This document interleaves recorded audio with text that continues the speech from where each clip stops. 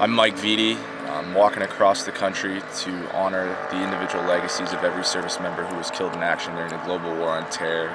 And my goal is to raise awareness uh, for the Gold Star families that they leave behind. I'm a West Point graduate, um, was captain of the Army football team, and then served five years um, as a U.S. Army captain, and then was deployed to Afghanistan.